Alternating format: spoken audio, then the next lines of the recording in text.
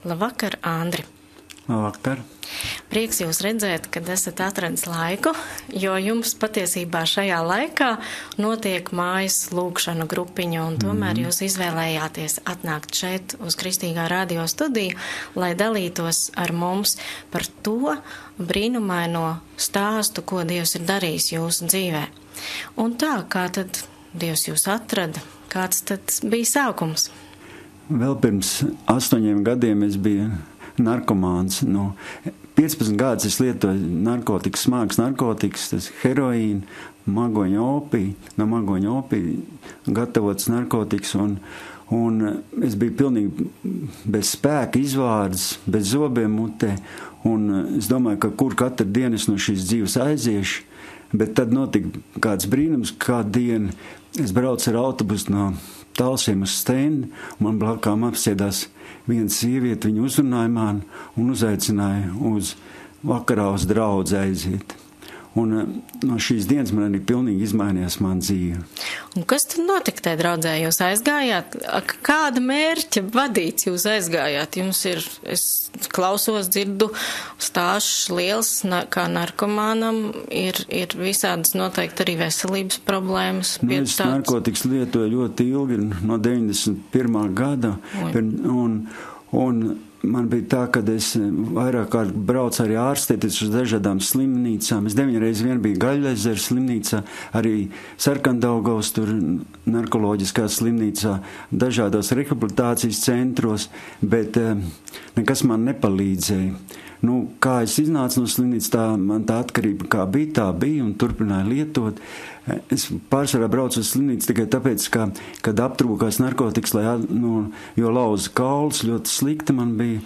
Bet eh, nekādas izējas man no tās nebija, nebija no tā. Un es redzēju, ka um, mani draugi arī viens pēc otra apmira, nu, kas mhm. arī kopā ar maniem lietoja narkotikas. Un es arī domāju, ka arī manim būs beigas.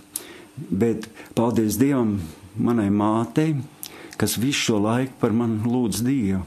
Un neskatoties uz to, ka es nebiju ticīgs cilvēks, viņa par maniem lūdza, staigāja pa naktīm, pa ielām, lūdza, cilvēks smējās, teica, ko tur lūdzu, biruts tanta.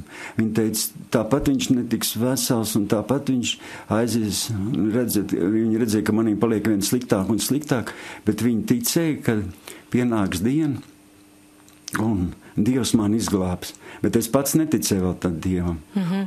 Un tas bija, tad, nu, notika tas brīnums tad, kad es tajā dienā aizgāju vakarā uz to draugu stendē. Tas vasaras mm -hmm. svēk draugs tādu. Mm -hmm.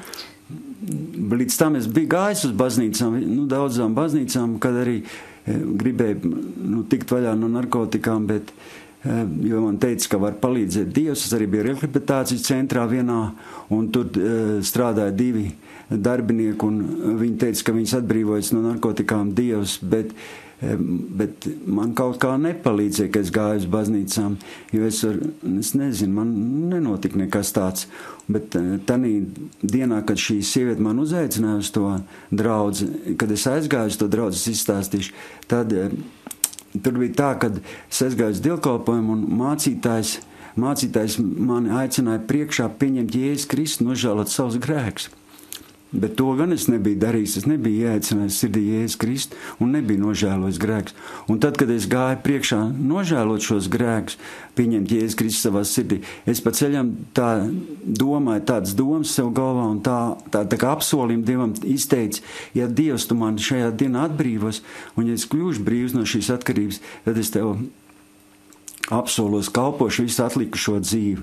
Un, un es izgāju priekšā, un mācītājs skaitīju šo grēku nožēlas lūgšanu, es vienkārši atkārtoju pēc viņa šo grēku nožēlas lūgšanu, un tad neko īpaši ne, nesajūtu tajā dienā. Vienkārši noskaidīt šo grēku nožēlas lūgšanu, aizēju, apsēdās ap, vietā, aizgāju apsēsties, un vakarā aizgāju, nu pēc dievkalpojuma aizgāju uz mājām, un aizgāju mierīgi gulēt, un no rīta pamodos, un piegāju pie loga, paskatījos, debesis bija zilāks, Um, zālīte zaļāka un, un galvenais iekšā tāds miers. saulīt tāda spoža, paskatījos, katru reizi man bija tāda, viss tā pa logu paskatījos, viss tāds pelēks, drūms, tā dzīve tāda bezjēdzīga bija. Ar tenī dienām bija pilnīgi kaut kāds noticis, kaut kāds brīnums. Un galvenais nebija slikti, un, un, un, bet tad es pēkšņi atcerējos, kad par tām narkotikām, kad domāju, man ienāca atkal galvā tās atmiņas, un es domāju, ka pienāks pusdienlaiks noteikti, un atkal man būs slikti, es domāju. Bet nebija man slikti arī pusdienas laiks, kad pienāca, un es domāju, varbūt vakarā būs slikti, arī vakarā nebija slikti, nebija ne, ne kaulas lauz, nekas.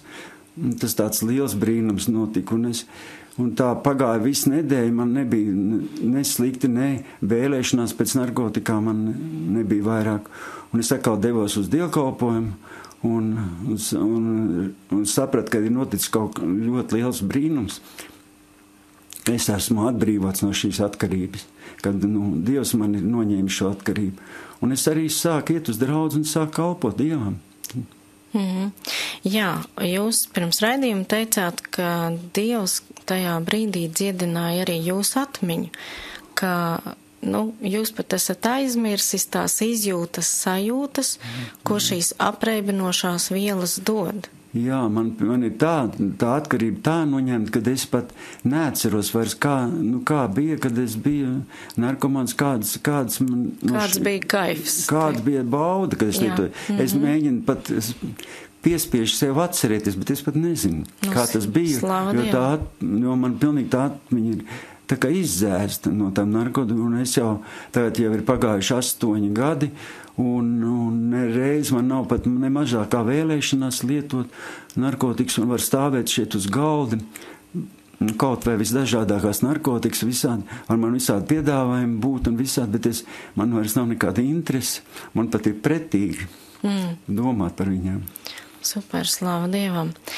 Un jūs ejat uz baznīcu, iesaistaties baznīcas dzīvē, es tā saprotu, bet jūs arī piedzīv, piedzīvojat vienā dievkalpojumā tādu fizisku dziedināšanu. Jā, tas bija šajā pašā draudzes, vasarsēks draudzes stendē. Nu, tur bija dziedināšanas dievkalpojums, jo uh, Uz, draudz, uz šo draugu bija atbraucis evaņģēlis mācītājs Mārcis Jensīts. Viņam bija tāds stūris pa Latvijas nu, dažādām pilsētām ar evaņģelizācijas un dziedināšanas dievkalpojumiem. Un viņš atbrauc arī uz stendu, tur bija aizlūgšana par slimajiem, tiem nu, par cilvēkiem, kam ir veselības problēmas. Un arī man bija veselības problēma, man bija sirds aritmija. Un tad arī, kad es lietoju narkotikas, man bija sirds aritmija, un arī pirms tam man bija no pusaudz vecuma jau bija sirds strādāja ar pārsitieniem, darbojas ar pārsitieniem. Un man bieži vien es nokļuvu arī slimnīcā, jo man melns grācīm daudzreiz uznāca. Un, nu, bija sirds aritmija, nu, neritmiski strādāja sirds, teikt, bieži, bieži. Ir sevišķi, ka nebija gulējis naktī vai, piemēram, kafiju sadzēras stiprāk, bet tad, kad es lietoju narkotikas, it kā viņi bišķi nomierinājās, jo tās narkotikas kaut kā nomierināja man tos ir, bet tikko atkal, kad es vairs nelietoju, nu, bet tā, bet tā vienmēr tā atkarība jau, ne jau atkarība, bet tā slimība, man bija tā sirds aritmija, tā slimība. Un es tāpēc arī gāju arī, lai mājas lūdz par mani, par vajadzību, nu, mācītājs. Un viņš uzlika man roku uz galvu un nonāca svētā gara spēks tādā veidā, kad es nokritu uz grīdas.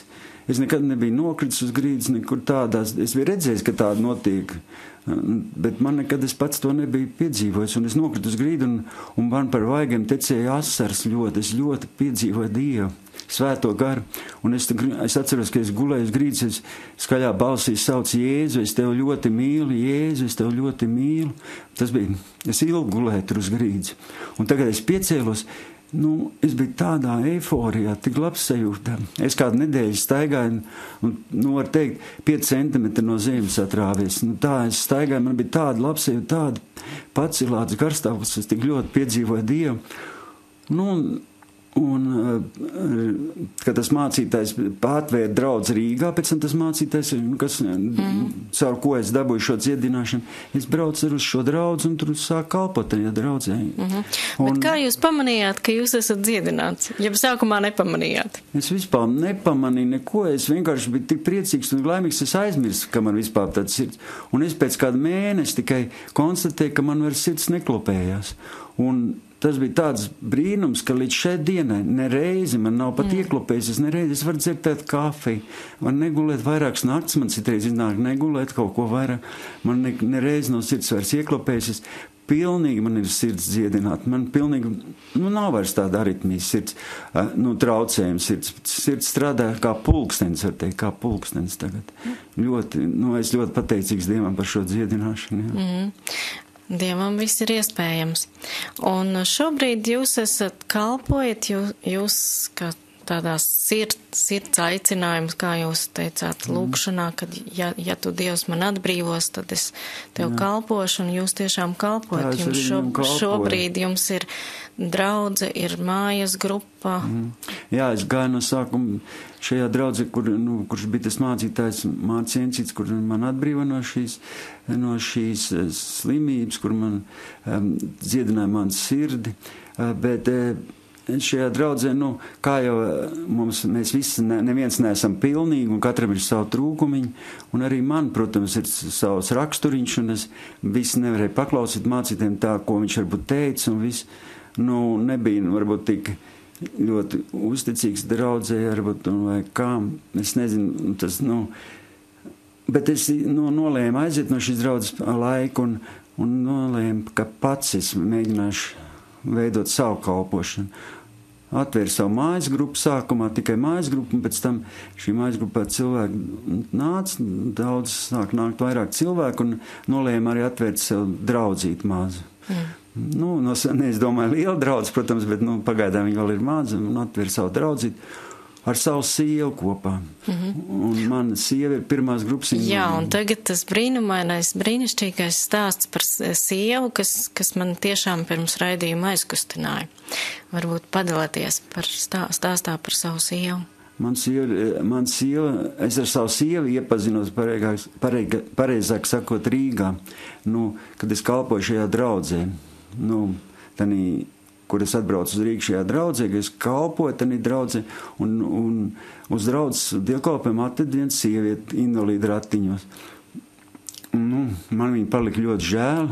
Svētais gars bija jau darbojies pie manas sirds, man bija žēl par, nu, par slimiem cilvēkiem. Es ļoti jūtu līdzi slimiem cilvēkiem. Un es vienkārši gribēju šai sievietei palīdzēt.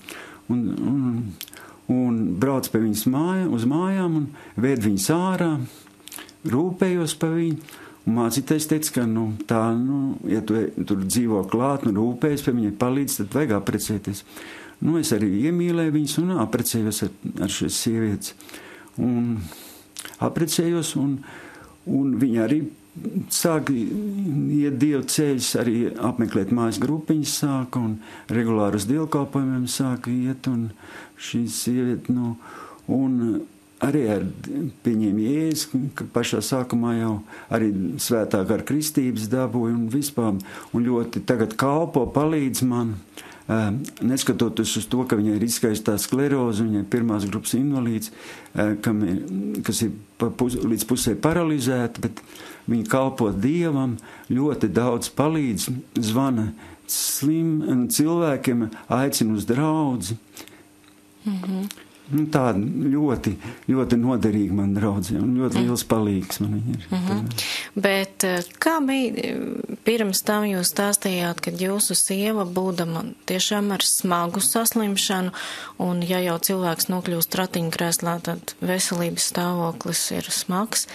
Ja viņu par vieglu nenosauksi, viņa meklēja palīdzību dažādos citos veidos. Jā, viņa, viņa gāja. Viņa, nu, kad nu, saslimē, ar, nu, ka viņai sākās tās pazīmes, Jā. kad ārsts viņai noteica to diagnozi. Viņa meklē palīdzību nu, citādi. Nu, viņa nemeklē pie dieva. Viņa, viņa brauc uz Šrīlanku ar ajūras medicīnu, centās izārstēties. Viņa vēl tad staigāja, bet palika viņai vēl sliktāk. Viņa gāja uz Budas tempļiem, pie Budas mūkiem. Tur, nu, visādi, tur, nu, nu, visādi centās, lai lai iegūtu šo veselības uzlabošanu, savai, nu, savai, nu, lai uzlabotos veselība. Bet nekas nepalīdzēja viņai, viņa atbrauca no to Šrilanku, viņa, un viņai palika vēl sliktāk, un viņa palika uz ratiņiem. Un, nu, tādā stāvoklī, viņa, un galvenais viņai tas stāvoklis pasliktinājās un pasliktinājās, un, un viņa iedeva pirmās grupas invaliditāti uz mūžu, viņa, nu, ārsti, es domāju, ka jau domāju, ka viņa ilgi nedzīvos, bet tad, kad es sāku viņai kalpot, tad, kad viņa pieņēma Jēzus Kristus savā sirdī, viņai no, tās, no tā brīža veselības stāvoklis ir normalizējies un vairs nu, tā slimība neprogresē. Viņa, nu, viņa nepaliek tā, nu, tā redzam labāk, bet sliktāk viņai nepaliek. Tā teikt stāv uz vietas, jā, nu, jā, tas jā. veselības stāvoklis. Jā, bet viņa ir, ir ieguvuši šo prieku, dievām, mieru un jēgu dzīvē, un viņa ir pavisam citāds cilvēks. Ja agrāk viņa negribēja dzīvot un daudzreiz domāja par pašnāvību, tad tagad tādas domas vairs nav. Mm. Tas ir stāsts par to, kā Dievs tajā cilvēciskajā nespējā jūs stāstat, kad lūk, jūs piedzīvojat dziedināšanu, jūs pat pilnīgi bijāt aizmirsis, ka jums ir veselības problēmas. Tik jā. labi jutāties, ka aizmirsāt, ka jums aritmijas vairs nav. Man, kad, jā, kad es piedzīvoju dzīves tādu eifóriju, piedzīvoju, kad es, es pilnīgi Es man liekas, ka tās ir pašas labākās narkotikas, kādas es agrāk jebkad ir lietojis. nu, es ar svēto garu ir vienmēr jā, no labi dzīvot, jā. Bet jūsu sievai, lūk, šeit varbūt nav tāda acīm redzama dziedināšanu uz doto brīdi. Jā, jā. Mēs jau nezinām, ko Dievs domā darīt tālāk. Jā. Dieva prāt ir, prāts ir neizdibināms, un viņš zina, kas man, mums katram ir labāks. Un tāpat laikā tas stāsts par jūsu sievu man aizkustināja vienu iemeslu dēļ, ka cilvēks, kurš ir ratiņkrēslā, kurš, kuram ir pašam nepieciešama palīdzība, praktiska, jā, jo viņš daudzas lietas nespēja izdarīt, mm un tomēr spēja būt par svētību daudziem citiem. Jā, man žēl, ka jūs šī sieva šeit studijā nevar būt, un arī viņai varbūt būtu mazāk drosmes šeit jā, būt, jā. Eh, liecināt, bet tāpat laikā, kā Dievs caur nespēku parādās savā spēkā un varenībā. Es domāju, ka jūsu sieva tagad jūsu mājas grupā un Jā. draudzē ir tāds, nu, piemērs. Uzskatāms piemērs dzīva liecība par to, ka mēs čīkstam reizēm par to, ka mums galva sāp. Jā, un mēs jau kurnam un esam apvainojušies uz Dievu, kad, nu, kāpēc man te grūti, bet te ir viens cilvēks ar ļoti smagu saslimšanu. Tā nav nekāda izpriecas diagnozes izkaisītā skleroze, un viņš savā ticībā un paļāvībā uz Dievu šīs savas ciešanas nes un panes, un Dievs viņu uz savām rokām nes. Mm. Kā patiesībā man uzreiz rodas jautājums, tāds organisks šai sarunā, e, kā tad e, jūsu draudzes locekļi uztver viņu? Tie cilvēki, kas iet pie jums mājas grupā un, un draudzē. Mm Viņa ļoti, viņa ļoti draudzīga, ir ļoti nu, tāda komun, komunikabla. Viņai ļoti daudz draugi, nu, kas nāk tie cilvēki, daudz nāk, vienmēr pie, ienāk draudzē vai kā, viņi vienmēr pienāk pie viņas klāt, aprunājas ar viņas, un viņa arī viņa pat par sevi ļoti, nu, viņa nevar nemaz iedomāties, ka viņai, nu, ka viņai kaut kas tāds veselības problēmas, jo viņa izskatās nu, vismaz uz ielas izjūt, viņa ir vienmēr smaidīga vienmēr un cilvēkam liekas, ka viņa vienkārši kaut kas viņai nu, nejauši kaut kas atgadījies un kad, un kad, nu, kad viņai nekas nav tāds smags. Nevar pat iedomāties, ka viņai ir kaut kā, nu, tāds veselības stāvoklis, jo viņa, viņa tieši otrādi iedvesmo tos cilvēkus, jo mums arī mājas grupiņā bija atnācis kāds vīrietis un viņam bija, uh, viņš kurnēja un kungstēja, ka viņam tur negribās dzīvot, ka viņam nav sieva un viņam nav, un nav, nav tur darbs, ka viņš nevar nopelnīt labi, bet viņam ir kājas, rokas, viņš ir pilnīgi, bija pilnīgi vesels šis cilvēks, un viņš krīt depresijā, ka viņš negrib dzīvot. Un man, es nu, ne, neteicu viņam, protams, bet es domāju, paskaties uz manas sievas, kam ir kam ir, nu, kas ir pa pusē paralizēta, kam ir redzi miglaini, kas labi mm. pat neredz, ka viņa spēja dzīvot, spēja priecāties, spēja, nu, būt tas, kas ir, būt nu, cilvēks ar, ar nākotni, cilvēks, kas nenolaiž rokas, kas palīdz citiem, bet cits tajā pašā laikā pilnīgi vesels, kam ir kājas un rokas. Nu, kūrni, ka viņš negrib dzīvot. Nu, tā, es, nu, mm. Tas ir ļoti piemērs tam, kad, kad ir cilvēkam grūti un viņš spēj būt pat citiem par paraugu, bet cilvēks ar, ar, vis, ar, ar normālām, normālu veselību. Mm. Spēj, nu, nu, jā, mēs nenovērtējam to, ko Dievs mums dod patiesībā. Jā, ko mēs dod. Daudz mm. cilvēku to nenovērtē, jo bieži vien to var redzēt. Nu. Jā dzīvē. Tagad raidījums lēnām tuvojas noslēgumam, ātri mums tas laiks skrien uz priekšu, un es gribētu jautāt, nu, mēs nezinām, kas klausās šobrīd mūsu raidījumu, bet kā, varbūt ir kāds vēlējums jums klausītājiem, kas kaut ko piedzīvo, pārdzīvo kādas ciešanas, nezinu, slimības, kādas dzīves krīzes, pārbaudījumus.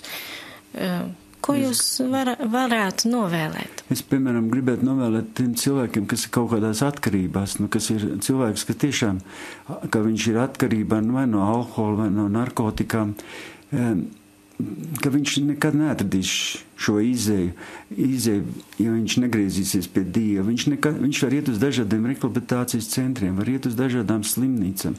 Tas tikai uz laiku viņam var apturēt viņu to, nu, to atkarība. Bet pilnīgi brīvību viņš neiegūs. Pilnīgi brīvību es uzskatu, var iegūt vienīgi ticību Dievam, paļāvību uz Dievu. Nožēlot visu savu dzīvi, es iesaku nožēlot tādiem cilvēkiem savu iepriekšējos grēkus, iepriekšējo dzīvi un pieņemt sirdī Jēzus Kristu. Un es ticu, ka tikai Jēzus Kristus, tikai Viņš spēja cilvēkus darīt brīvus, vesels no dažādām atkarībām. Mm. Tikai viņš spēja. Es uzskatu, es iesaku tiem cilvēkiem griezties kādā draudzē, kādā draudzē, kur tiešām ir cilvēkiem attiecības ar Dievu, kur cilvēki eh, meklē Dievu un, me, un meklē šo ceļu, lai viņi griežas kādā draudzē, jo viens pats arī cilvēks nevar pastāvēt, ka mm. viņam jāatrod šādiem cilvēkiem draudzi, un es domāju, jebkurš cilvēks var būt brīvs no šāda atkarība. Jā. Paldies, patiešām liels paldies, Andri, ka jūs bijāt kopā ar mums šovakar, kad dalījāties savā un savas sievas dzīves stāstā, un abi divi bija brīnumaini.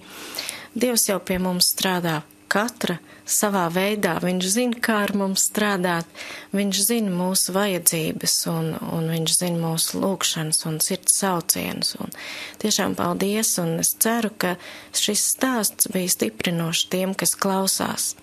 Jo Dievs jau nekad nenokavē. Jā, varbūt mēs lūdzam pēc dziedināšanas, mēs lūdzam pēc kādiem brīnumiem mūsu dzīvēs, un liekas, ka Dievs klusē un Dievs neatbild bet Bībelē ir teikts, ka visam ir savs laiks, un savā laikā Dievs atbild uz mūsu lūgšanām, un ir brīži, kad arī Dievs neatbild. Varbūt cilvēki, kas šobrīd klausās un ir gadiem lūguši pēc savas dziedināšanas, bet uh, viņi Viņi, viņi varbūt tā acu mirklīgi netiek dziedināti, un tomēr Dievs uztur.